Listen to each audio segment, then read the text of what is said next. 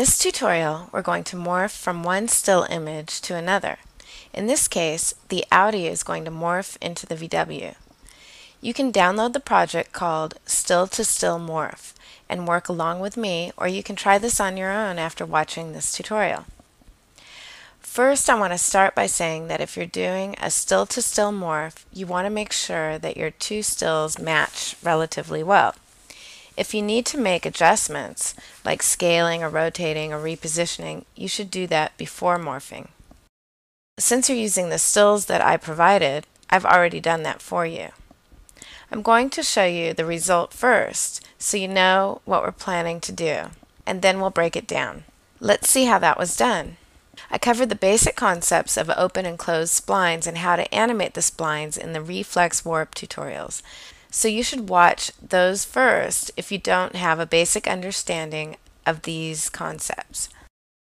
The difference that you will notice when we do a morph compared to the warp is that the from and to geometries come from the same masks or splines but at different points in time, instead of having two from pairs of masks. RE:Flex also has another tool called RE:Flex Motion Morph that we will see in another tutorial later.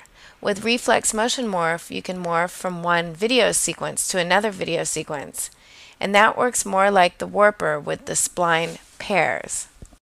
Okay, let's get back to our still to still morph now. We will start with our from still at frame 0. Now, if we go to the end of our timeline to our last frame, in this case frame 30, we have our to still. We will make a new comp by dragging this pre-comp to the new composition icon. We can now add RE:Flex morph to our pre-comp. What RE:Flex morph will do is create the in-between frames by interpolating and synthesizing new frames. Now we can go to the Effects Controls panel and put the display on Warped and Blended to make sure we're looking at the image as it's morphing.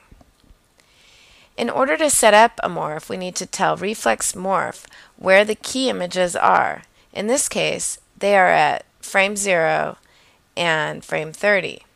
So first make Picture Key an animated setting by clicking on the stopwatch icon. Then set keyframes for Picture Key to On at frame 0 and 30. We need to let RE:Flex Morph create in-between frames at frames 1 through 29. In order to do this, we must set Picture Key to Off at frames 1 through 29.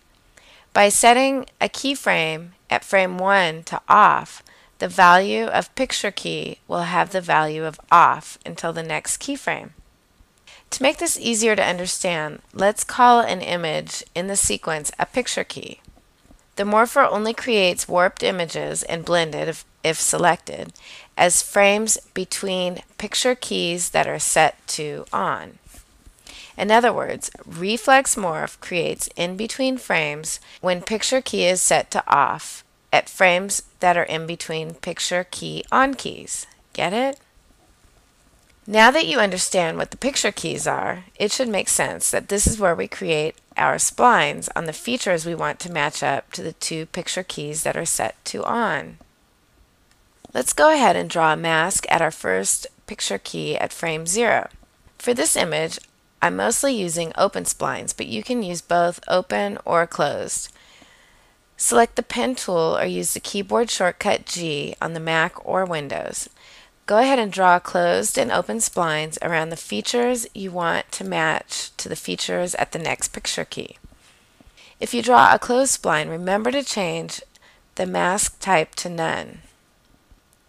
Also, you will need to animate each of these splines whether they are open or closed, so make sure to select the stopwatch to activate the keyframes and set a key. You can go ahead and create your masks set keyframes, name them, and then meet me back here. Now, we will go to the next picture where picture key is set to on. So everything from here, frame 1 to frame 29 will be a warped and blended or morphed frame. When we get to frame 30, picture key is set to on again. So this would be the 2 image, or what the Audi is morphing to, the VW.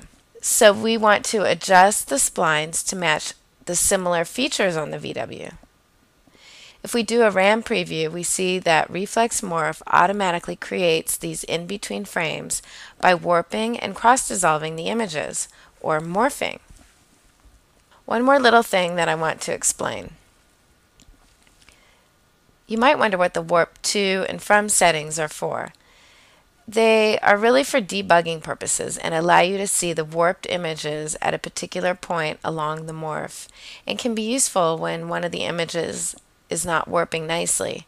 For example, folding over inappropriately or getting too squished. Similarly, you can see the two source images as well using the unwarped to and from display settings, although those image settings are a bit less useful since you know that the source images occur at your picture keys.